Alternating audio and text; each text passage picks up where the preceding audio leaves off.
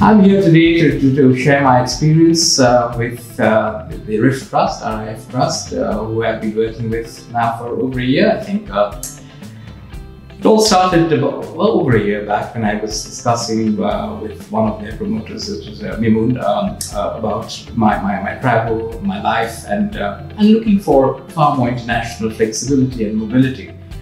And, uh, and they suggested me to look at, at, a new passport perhaps. And uh, given that my, my, my, prior citizenship was rather restrictive and uh, literally I used to travel around with three or four passports because I had multiple visas. I was virtually every immigration officer's nightmare because every time I turn up an immigration desk, this is what I would present and they say, where is the visa? Apart from the fact that, you know, one had to go around obtaining those visas, and that was very time consuming. Um, and literally, the passport was in and out of my hands.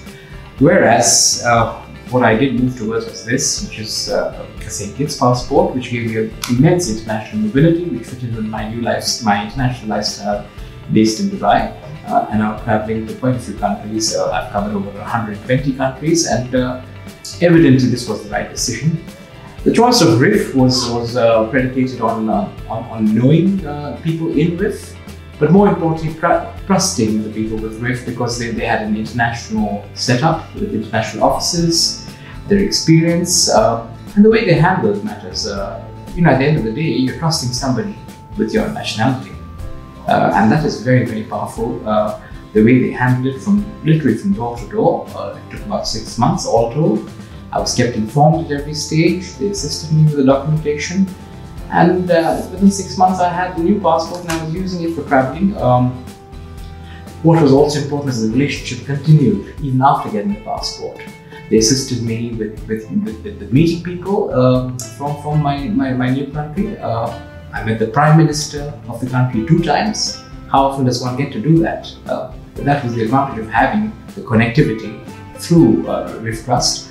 After getting the passport, uh, I was uh, I was assisted to, to, to, to, my my arrangements, my travel into uh, my, my, new country, getting a driving license, getting bank accounts, getting the connectivity with the, with the new nationality. That's very important. It's not just somebody who comes and sells you something and moves away. It's relationship. And then they have the Rift Club, uh, which is a fantastic concept with concierge services. That kind of builds your loyalty your trust and your confidence uh, in such a, an, an, organization and look to do more with them thanks to that. And that's, that's really classic relationship building uh, based on something as sensitive as nationality.